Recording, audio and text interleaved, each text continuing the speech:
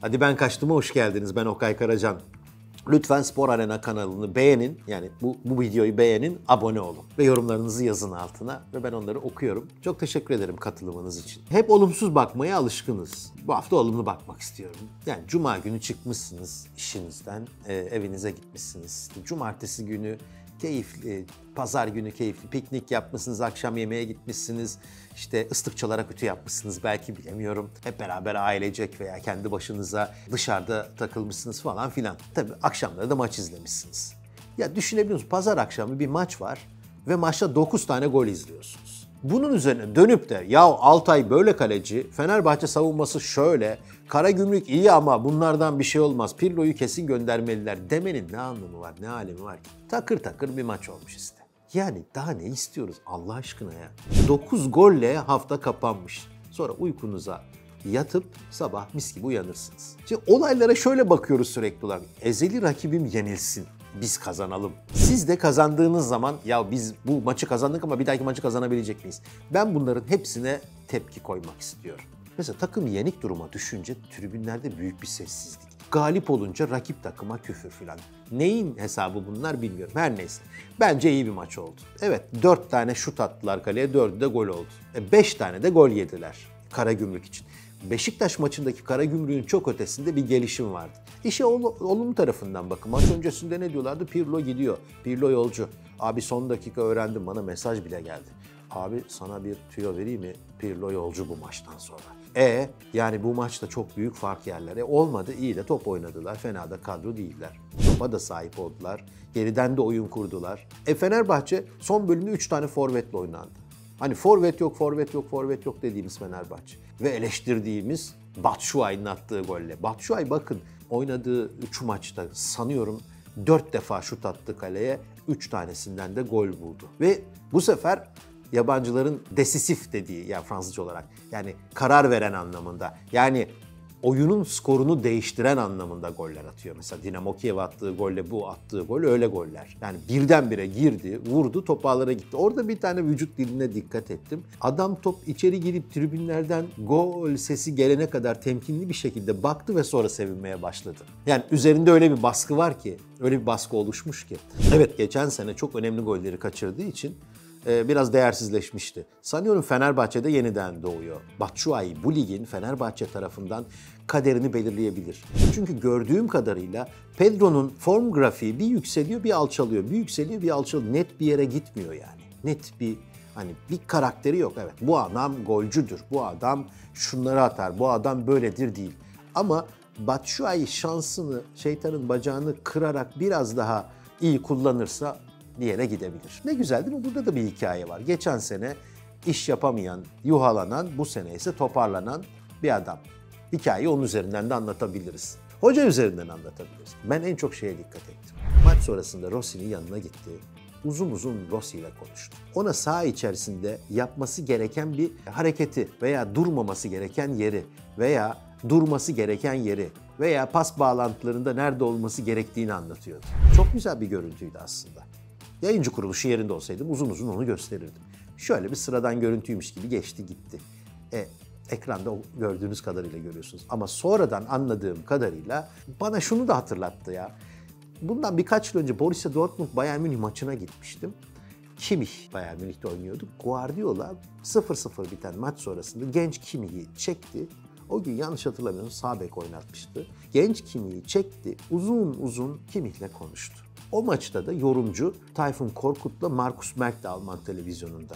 Abi ben Almanca bilmiyorum ama yanımda Almanca bilen bir arkadaşım vardı. Ona sordum ne diyor. O da dedi ki genç olduğunu, yapması gerekenleri hocasının söylediği doğrultuda gerçekleştirirse gelişebileceğini, kafasına göre inisiyatif alırsa işinin biraz zor olacağını. Ben tam olarak böyle hatırlıyorum. Yanlış tercüme, doğru tercüme bilmiyorum ama sonuçta mantık çok doğru. Rossi'yi kazanmaya çalışan bir karakter gördüm saha içerisinde. Benim için değerli olan bu. Yoksa 5 gol atmış, 4 gol yemişler. Tam bir düello vardı. Tak 1-0, 1-1, 2-0, 2-1, 2-2, 3-2, 3-3, 4-3, 4-4. Sonra 5-4 son düdük. İşte size eğlenceli bir akşam. Tabii Avrupa Kupası maçı oynadıktan sonra lig karşılaşmasına gelmek ve lig karşılaşmasını kazanmak çok değerli. Biz geçtiğimiz yıllarda ne diyorduk? Takımlarımız Avrupa ve Türkiye'yi götüremiyorlar. Al işte Jesus götürüyor. İşe o tarafından bak. Şimdi bazı yorumlar gördüm ve okudum ve dinledim. Deniliyor ki kardeşim bir direk koysanız kaleye Altay'dan daha dikkatli olur. Ya geçtiğimiz yıllarda Fenerbahçe'de işler kötü giderken yaptığı kurtarışlar, aldığı maçlar, kurtardığı maçlar hiç hatırlamıyor musunuz onları? Genç bir adama bu kadar büyük bir infialle nasıl yaklaşırsınız? Golü yedikten sonra yuh, gol pasını uzun degaja attıktan sonra alkış. Bir karar vermek lazım. Burası Roma değil. 21. yüzyılda yaşıyoruz. Gladyatör savaşı yok sahanın içerisinde. İnsan bu çocuklarda. Sonuçta kazandınız mı? Evet. E, Larnaka'yı yenmişsin, dönmüşsün burada Karagümrük'ü yenmişsin. Bunlar kolay şeyler değil. Jesus Türk futboluna bunu getiriyor. Avrupa'da da Türkiye'de de büyük takımlar yollarına devam ederler. Bir rotasyon vardır, bu rotasyonu yaparlar. Bir plan program vardır, bu program çerçevesinde top oynarlar. Bir plan çizdi, bu plana herkese alıştırdı ve bu plan çerçevesinde oynamayanları da uyarıyor. Belki de Rossi'ye söyledikleri buydu. Tabii negatif açısından bakarsak olaya, Salay son zamanlarda sert oynuyor. Rakibine yaptığı ölçüsüz faullerle dikkat çekiyor, kart görüyor. Bu karşılaşmada 3 tane golde büyük hatası olduğu söyleniyor. Ya ben büyük hatadan aslında çok e, dem vurmak da istemiyorum ama bu adamların kredisi vardır. Geldiği ilk günden beri. Hatırlayın geldiği ilk maç, Rize maçıydı sanıyorum. Bir top geldi, göğsüyle topu öldürdü. Yani yarı sahaya gelen top öldürdü, koydu ayağına ve atak başladı. Sonra da gol oldu. O geldiği günden beri katkısı sayılamayacak kadar fazla. Hataları da olacaktır. Ama biraz toparlaması gerekiyor. Kendine gelmesi gerekiyor. Jesus sahayı onun için de inecektir. Zihinlerdeki bir şeyi de kırdı, parçaladı. Geride bıraktığımız 4-5 yıl içerisinde Fenerbahçe yenik duruma düştüğü zaman uğultular çıkıyor.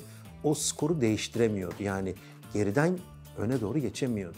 Beraberliği bile sağlayamıyordu. Bu takım bitmiş bu hocayla olmaz deniliyordu. Hoca merkezli savaşlar oluyordu, kavgalar oluyordu, yorumlar yapıyordu. Git deniliyordu. Bunu Karagümrük maçında yok etti. Geriye düştü beraber, geriye düştü beraber, geriye düştü beraber sonra da öne geçti. Yeterli değil mi sizin için? Yetersiz diyorsanız lütfen bu videoyu beğenmeyin. Bir Barcelona gibi oynamasını, Guardiola'nın Barcelona'sı gibi oynamasını beklemeyin. Çünkü bu ülkenin futbol mantalitesi bu. Diyor ya hocalar. Mesela Pirlo da Jesus da aynı şeyi söylüyor. Benim ilgimi çeken konu o. İki teknik adam da Türk futbolunun ne kadar zor olduğunu söylemişlerdi. Türkiye Ligi'nin. Aynı şekilde Montella da söyledi. Yani yabancı hocalar Türkiye Ligi'nin aslında kendilerini şaşırttıklarını ve zor olduğunu söylüyor. Niye zor olduğunu söylüyorlar? Gerçekten zor. Oyun ilerlemiyor. Düşen kalkmıyor. Akmıyor oyun. Siz oyunu akıtmaya çalıştığınız zaman korkunç bir savunma görüyorsunuz. Tekme görüyorsunuz, sertlik görüyorsunuz. İlerlemiyor. Oynatmamak üzerine kurulmuş bir futbol. Yaratıcı hocalar için çok kolay değil bu. Çok zor. Eğer yaratıcıysanız size bu işi yaptırmak istemeyenlere karşı e, işiniz çok kolay olmaz. Özetle hem Avrupa'da hem Türkiye'de iyi işler yapmış olan bir Fenerbahçe olarak bakın. Larnaka'yı yenmiş, gelmiş Karagümrük'ü yenmiş. Bu kadar basit. Negatif tarafını arıyorsanız arayın bulun. Ama bu işin negatif tarafı yok kardeşim. bir futbol takımı bir sezon boyunca oynadığı bütün maçları kazansın, çok iyi oynasın. Hatta çok farklı kazansın istiyorsun. Yok böyle bir şey. Dünyanın hiçbir yerinde yok. Fenerbahçe doğru yolda gözüküyor. Tabii Beşiktaş karşılaşmasındaki sessizlik veya şöyle söyleyeyim üretimsizlik birdenbire Larnaka maçında kendi kimliğine bürünmesi ardından da e, işte burada 5-4'lük bir galibiyet. Yok o penaltıydı, bu değildi, şuydu buydu onları da geçin. Ha penaltı demişken. Valerian İsmail için gerçekten negatif konuşmak istemiyorum. Ama baktığınız zaman elinizdeki potansiyeli, bu potansiyeli değerlendirme konusunda ne kadar yetkinsiniz veya yetkinseniz bu yetkinliğinizi ne kadar kullanıyorsunuz diye sormak lazım. İyi bir kadro var Beşiktaş'ta, yetenekli ayaklar var. Özellikle genç isimler. Çok fark yaratacak adamlar var. Ama takım duruyor. Beşiktaş son 5-6 yılda ilk defa topu tamamen rakibine vermiş durumda. Top kullanamıyor. Pas sayıları çok düşük. Niye yapamıyor bu pasları? Yani bu oyuncuların yetenekleri birdenbire yok mu oldu? Belli ki psikolojik olarak da çalıştırılma anlamında da, verilen şablon anlamında da ileri gidemiyor takım. Yani iki tane maç oynadılar doğru dürüst. Diğerlerine baktığınız zaman değişmiyor. Giresunspor maçına bakın. Cesaretli teknik direktörle veya kreatif bir teknik direktörle farklı bir şekilde çok erken bitirebilirlerdi maç. Maç kaosa girdi. Biliyorsunuz bir top var giden. Hakem VAR'a gitti. VAR baktı, offside dedi. Sonra kıyamet koptu ve neredeyse değersizleşti galibiyet. Oysa iyi oynayan taraf, rakibine ilk yarıda pozisyon bile vermeyen taraf Beşiktaş. Ama üretemeyen Beşiktaş. orta sahadan ileriye doğru giderken birdenbire erimeye başlıyor takım. Son paslar doğru verilemiyor. Bir egoizm var. Mesela Enkudu'nun vermediği bir pas var akıl almaz. Çıkarsa birisi vuracak, golü atacak. Tayyip Talha anlattığı gol çok güzel. Gelecekte milli takımını orada yıllarca formasını giyebilecek akıllı bir stopere sahip oldu. Genç yaşına rağmen oyunun içerisindeki duruş fevkalade. Evet yaşı e, belki Tayyip Talha kadar genç değil, ilerleyebildiği kadar ilerlemiş yani 30'a doğru yaklaşıyor ama Tayfur gencecik bir çocuk gibi hızla ileriye atıyor kendisini, koşuyor, oyunun içerisine giriyor, kıvrak, zeki, ilk 11 oyuncusu. Berkay Vardar'ı niye unuttu hoca? Hani iki stoperin arasına girerek defansif karakterini de ortaya koyuyor ya. Yani 6 numara pozisyonu için bence biçilmiş kaftan Berkay. Eğer Salih yoksa Berkay'la oynarsınız. Hatta Salih varsa da Berkay'ı koyarsınız. Delali ile Beşiktaş bir kişi eksik oynadı. Esas işte hikaye bu. Ve hoca bunu görmedi. Uzun sürede buna göz yumdu. Şampiyonluk yarışında iddialı olabilecek bir takım teknik direktörünün felsefesi nedeniyle biraz daha zayıf gözüküyor. Beşiktaş'ın temel sorunu bu. Offside var hikayelerini de bir anlamda artık toparlayabilmemiz gerekiyor. Eğer bir çizgi varsa bu çizgi offside diyorsa offside. Ama 3 santim, 2 santim, 1 milimle futbolun ruhu öldürülüyor. Bazen takdir hakkı kullanılmalı. Geçen sene İngiltere'de Arsenal United maçıydı galiba. Böyle bir pozisyonda milimetrik olarak birkaç santimetreyle offside'ı belirlediler ve maçın atılan o golü sayılmadı. Ve İngiltere'de aklı selim futbol yorumcuları şunu söylediler. Ya futbol oyununun bir ruhu vardır ve bu ruhu daha iyi bir ruh olması için, yani ruhunu kaybetmemesi için hakemler de bir şey üflerler buna. Kimi zaman bu kadar mili, milisaniyelere, milimetrelere bakmamak gerekiyor. Ama iş vara gittiğinde koyduğunuzda bir santim offside gözüküyorsa da tersini uygulayamazsınız. Yani Giresun hakemlere kızıyor ya. E şimdi koydunuz bir e, saniye, milimetre ne oldu? Offside çıktı değil mi? Ya futbol oyununun ruhuna aykırı bu, golü verelim derlerse o bir santimetreden dolayı öbür taraf e, laf edecek. Ya futbol herkes kendisine karşı oynanan bir oyunmuş gibi yorumlamasın artık. Bu oyun ne Giresun'a karşı oynanan bir oyun, ne Beşiktaş'a karşı oynanan bir oyun, ne de diğerlerine karşı oynanan bir oyun. Bu oyun insanların izlemesi, zaman geçirmesi, mutlu olması için. Bu kadar basit. İyi bir hafta sonu eğlencesi olsun diye oynanıyor. Bitince yenisi başlasın diye oynanıyor. Bir savaş alanında değiliz. Tayyip Talha çok iyi. Emre Can da fevkalade iyi. Berkay Vardar, Tayfur iyi. E, Delali meselesinin ise acilen masaya yatırılması gerekiyor galiba Beşiktaş'ta. Olmayacak. Ayakları gitmiyor. Takım eksik oynuyor ve birileri onun açığını kapatmaya çalışıyorlar. E, ya kendisine bakacak ya da Beşiktaş yönetimini bayağı bir probleme sokacak. Çünkü sonuçta dönüp dolaşıp hocaya ve e, Delali'ye döner. Top. İyi bir hafta geçti bence. İyi maçlar vardı. Volkan Demirel'in takımı 2'de 2 yaptı. Yoluna devam ediyor. Hatay'da Volkan Demirel takımın o birkaç zamandır kötü giden talihini değiştirecek gibi gözüküyor. Emre Belezoğlu'nun sistemde Okan Buruk'un sistemde, Volkan Demirel'in sistemde olduğu ve hoca jenerasyonunun değiştiği bir e, dönem yaşıyoruz.